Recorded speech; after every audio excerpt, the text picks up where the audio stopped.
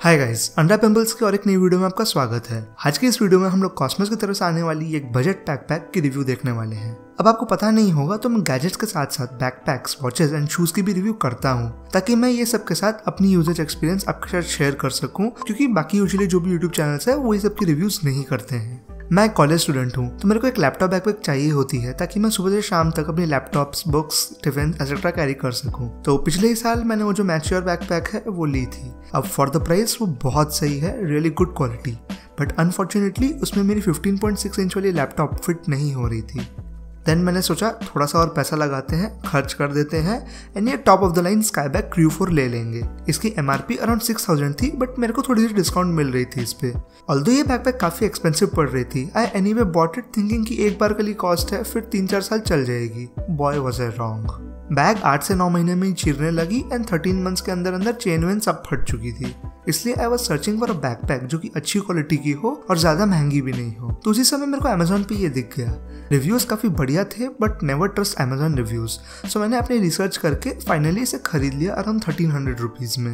And this turn out to be a very good purchase decision backpack की तरफ़ आए तो ये मैंने ब्लू कलर में ली है. पता नहीं और कौन से कलर्स अवेलेबल हैं बट हाँ मेरे को ये कलर अच्छी लगी क्योंकि ये काफ़ी सटल लुक दे दी है.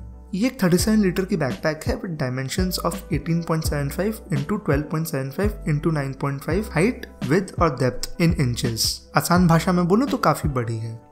इसमें काफ़ी सारे कंपार्टमेंट्स दिए गए हैं। फ़र्स्ट कंपार्टमेंट ये सामने में है। इसके अंदर आप कुछ भी छोटे मोटे चीज़ रख सकते हैं। उसके पीछे ये सेकंड कंपार्टमेंट देखने मिल जाती है। इसमें आप अपने pen drives mobile phones tiffin cards headphones keys कुछ भी स्टोर कर सकते हो।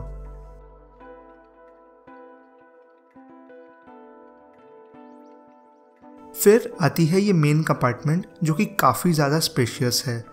इसमें मैं इजीली अपने दो दिन के ट्रैवल के सामान मोटे मोटे बुक्स इसमें एक छोटी सी टैबलेट स्टोरेज भी दी गई है बट मैं उसमें अपना एग्ज़ाम बोर्ड ये सब रख लेता हूँ। उसके पीछे आपको ये लैपटॉप कंपार्टमेंट देखने मिल जाती है, जहाँ पर अप टू 15.6 इंच की लैपटॉप स्टोर कर पाएँगे। लैपटॉप कंपार्टमेंट की भी पैडिंग अच्छी दी गई है।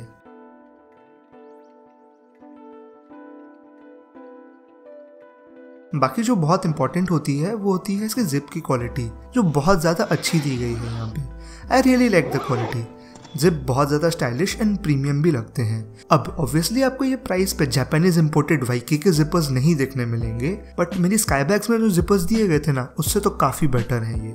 बैग की क्वालिटी की बात करें तो ये high grade 1680D PU coated polyester fabric की बनी हुई है which is again really good and overall bag की क्वालिटी बहुत अच्छी लगी। मैंने वो जो चीप वाली फीलिंग आती है ना, वो इसमें नहीं देखने मिलेगी। एंड होपफुली ज़्यादा लंबे समय तक की फटनी भी नहीं चाहिए।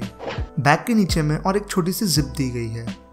जिप को खोले तो अंदर में आपको एक रेन कवर देखने मिल जाती है। वैसे रेन कवर सब सही है बट आई विश कि इसको ऊपर की तरफ़ से भी एक बैग के साथ अटैच करने के लिए क्लिप दी गई होती।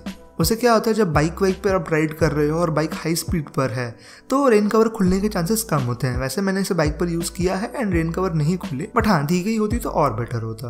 अब बैकपैक के पीछे देखें और स्ट्रैप्स की बात करें तो इसकी स्ट्रैप्स बहुत अच्छे से पैडेड है। रेयर में भी पैडिंग अच्छी दी गई है। बट इसकी पैडिंग के लिए जो फोम यूज़ करी गई है ना, वो इतनी हाई क्वालिटी की नहीं लगी मेरे को। मतलब इतनी सॉफ्ट नहीं है। सॉफ्टनेस थोड़ी सी और बेटर हो सकती थी।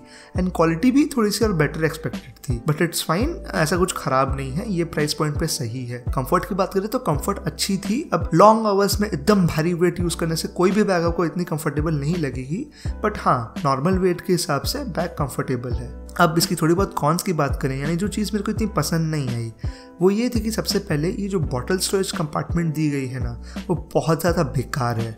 इसमें नॉर्मल मैश वाली स्टोरेज दी गई होती और उसमें भी ये लूप दे दिए होते ना तो मुझे कोई प्रॉब्लम नहीं था। इसमें ये जो चेन वाली ऐसे कंपार्टमेंट दी गई है, इसमें कोई भी बॉटल फिट नहीं होती है।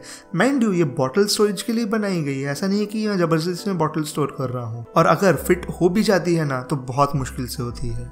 सेकेंडली इसकी स्टिचिंग की तरफ़ आए तो ये थोड़ी सी अनइवन लग रही है मेरे को। That's not a problem in day to day usages but हाँ इम्परफेक्शन है तो बताना ज़रूरी है।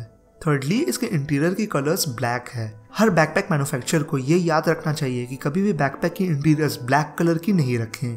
बिकॉज़ ब्लैक होने से छोटी छोटी चीज़ जैसे कि wallet pen pen drive wires ये सब बैक बैक में ही खो जाते हैं एंड आपको दिखती नहीं है तो आपको अंदाज से ही इसे निकालना पड़ता है। हमेशा ऑरेंज येलो स्काई ब्लू ऐसे कलर्स के इंटीरियर होने से in my frank opinion better होता है। चौथी, इसकी जो चेन्स है पायल की तरह छन छन छन छन आवाज़ करती है। That might be distracting for some of you lastly इसकी जो हैंड हैंडल दी गई है ना, ये थोड़ी सी हार्ड है। मेरे को पर्सनली ये थोड़ी सी और सॉफ्ट और कुशनी दी गई होती तो बेटर लगता। But again not a big problem considering the price बस इसके अलावा और कोई कॉन्स नहीं देखने मिले मेरे को। I was very impress with the backpack it's really good for the price and and feel कि आपको हज़ार पंद्रह सौ इनफैक्ट दो हज़ार के अंदर भी कोई एक अच्छी क्वालिटी की बैक पैक चाहिए ना तो आप वो सब फैंसी ब्रांड नेम्स के पीछे नहीं भाग के इसे ट्राई कर सकते हैं। आई एम श्योर आप जब इसे यूज़ करेंगे तो आपको ये बहुत ज़्यादा पसंद आने वाली है। इसकी एक मैं ओवरऑल रेटिंग दूँ तो it will be nine upon ten easily तो बस गैस आज की वीडियो के लिए इतना ही। वीडियो पसंद आई है तो लाइक कर दीजिएगा एंड चैनल को सब्सक्राइब करना मत भूलिएगा। Thanks a lot for watching अंडा पिंपल्स